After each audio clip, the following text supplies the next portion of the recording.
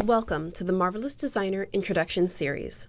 In this series, we will cover the different methods of basic garment creation and getting started in Marvelous Designer. In this lesson, we will be using a custom-made pattern image that we are going to trace to make a garment. We encourage you to follow along with this lesson, and the pattern file is available in the description box below. To make it easier to follow along with the lesson, please reset your user settings or make sure your mouse presets are on the 3-button or regular mouse. If you do not know how to change your settings, please watch our UI video first. For those using Marvelous Designer 9.5 and above, we have grouped more tools together for a cleaner user interface. Please long press the left mouse button on the tool to view a list of all of the tools in the tool group.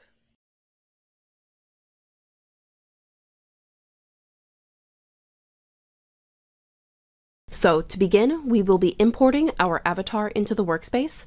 On the left side of the screen, I'm opening the Library tab, and I'm going to one of my favorites folders, Avatars. And for this lesson, I'm going to select Male B, and I'm going to double click on the avatar file to import him into the workspace.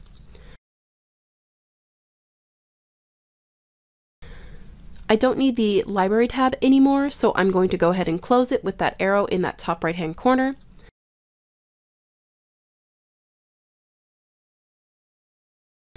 And the next step is going to be tracing an imported image file.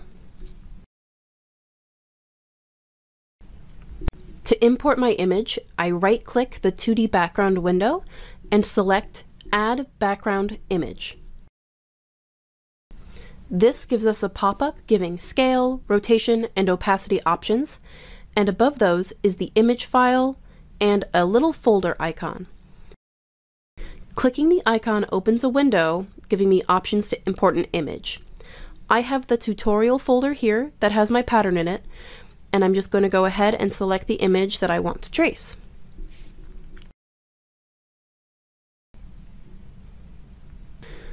This imports the image into the 2D window. As you can see, it is way too big for the avatar. So I will use the scale option to resize it to be smaller. Now, not all patterns or images will be the same size or scale, so to get it as close as you can to fit, I'm going to follow along with the shoulder, since this is a shirt. If it is about the same length of the shoulder, then it should be a good fit, well enough to build off of for this lesson. It looks like 50% is close enough. It's about to where the lowest point on the shoulder is, so I will go ahead and choose this. I can always resize it later. Feel free to use whatever size you think looks best on your avatar. 50% may not be what works best for you. Once I am done editing my pattern size, I can select OK and the box disappears and I can no longer interact with the image. So next I'm going to trace my pattern.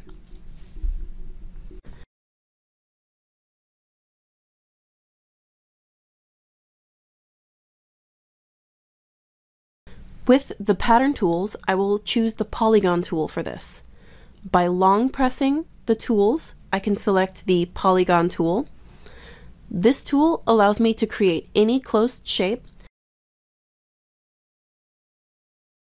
Just clicking makes a straight line segment between points,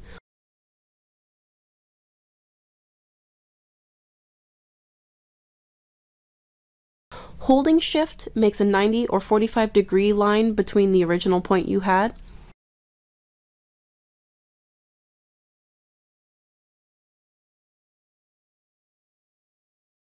And I can create Bezier curves by clicking and holding and dragging on those segment points.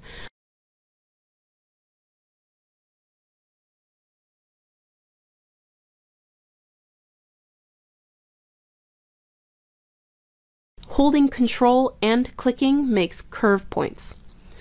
The cleaner the pattern and fewer segment points you start with, the better it will be for customizing your pattern later. So please use the control key to make any curve lines, just as I do.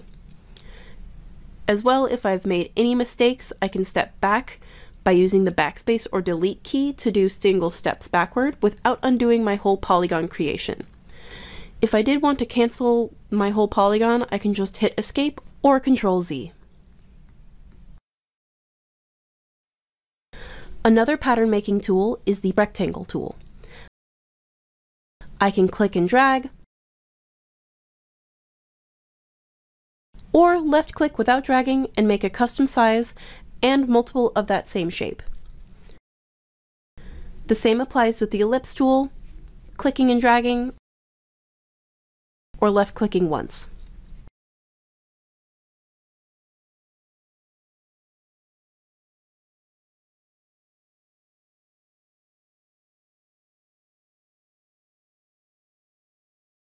I will use the polygon tool and I'm going to trace just half of the pattern, so one back, one sleeve, and one front piece. I am going to start with the center front neck using left click, then as I trace around the curve, I hold control and click to make those points curve points, letting go of the control key to make straight lines,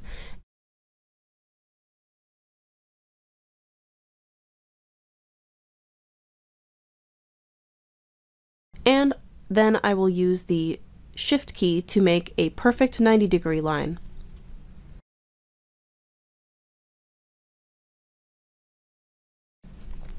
When the polygon is closed, you will see that the default fabric is selected and the pattern fills with that texture. This texture is not necessary while tracing and it can even block some internal shapes. So going up to the texture toolbar, you will see the eyeball up there. You can toggle on and off the Show 2D Textures option. I'm going to turn that off, and now I can continue to trace the back pattern.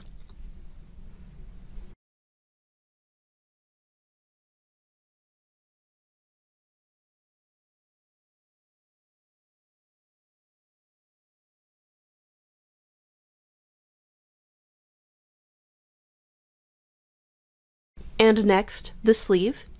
Now, in this case, I'm only going to trace half of the sleeve.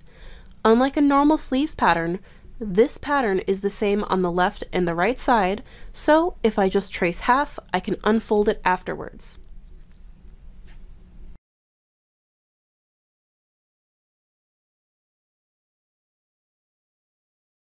The Edit Pattern tool allows me to edit lines and segment points, delete them or turn them into curve points, and when right-clicking a line segment, I can unfold or unfold symmetric.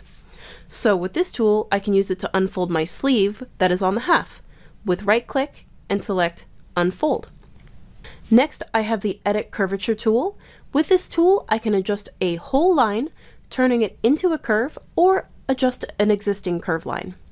But if I want more control over the curve, I can use the Edit Curve Point tool, which allows me to edit all of those red points which are the curve points that we have been placing with the control key. With this, I can also add points to my line, and I can change segment points into curve points with this tool. I can select more than one by right-clicking, or I can use drag select.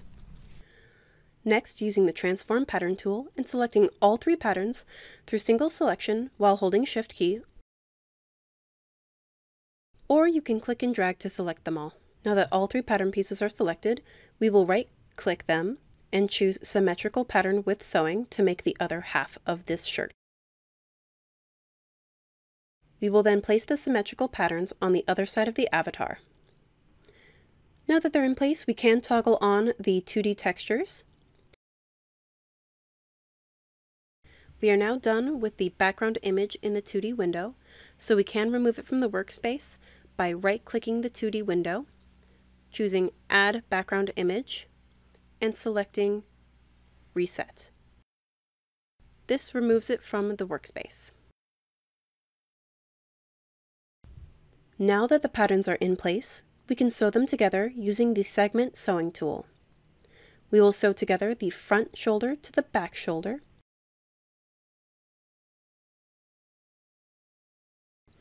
the fronts to themselves, the backs to themselves, the underarms to each other of the sleeve, leaving the side seams and armholes unsewn just to show you later that we can sew in the 3D window.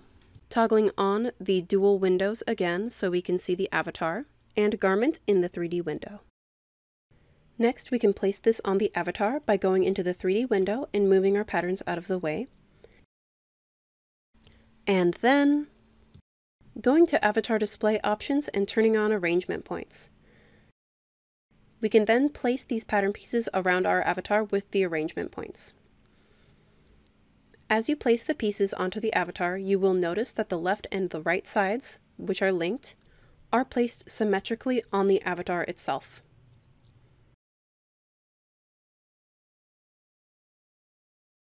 Now that the pieces are around the avatar, we can double check our placement, and we can check our sewing lines.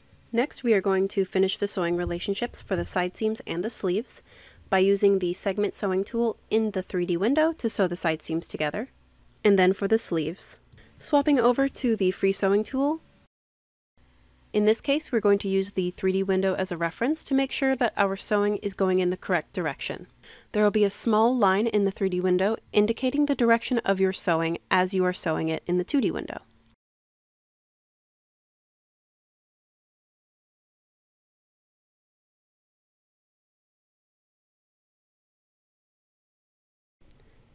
Now that all the pieces are sewn, we can simulate using the normal simulation option or just hitting the spacebar. Now that the garment is sewn together around the avatar, you can play with the shirt on the avatar while simulation is running. So our shirt is done. Let's go ahead and save the file by going up to File, Save As, Garment. I have made a Lessons folder, so I'm going to select that folder as the save location. And I'm going to go ahead and name this file t-shirt block. Now that the pattern has been saved, we can make a cleaner version of this pattern by merging the fronts and the backs together. To do this, we can go up and choose the Edit Pattern tool and right-click the center front line, choosing Merge. This turns that segment line into a mirror line which is a dashed line, indicating that these patterns are symmetrically linked across that half line. So anything you do to one half is applied to the other. And mainly for cleanup purposes, that seam line is no longer there. You can also merge using the Edit Sewing tool by right-clicking that sewing relationship and choosing Merge as well. And as you can see, the other pattern piece pops over there, and they are symmetrically linked across that line, and we can edit them just like the front. We now have a basic t-shirt garment and a garment with merged symmetrical fronts and backs. And that is it for this tutorial. Thank you so much for watching. Here are the links to the next videos in this tutorial series. The order does not matter, but we do recommend watching all of these tutorials as they will feature different methods of beginning creation of basic blocks which you will use later in the tutorial series. If you liked this video, hit the like button below and subscribe for more. If you have any questions about getting started in Marvelous Designer or this lesson, please leave a comment below and we will do our best to answer your questions. If you want more information on Marvelous Designer, check out our website, forum, and official Discord channels, which are all linked in the description box below.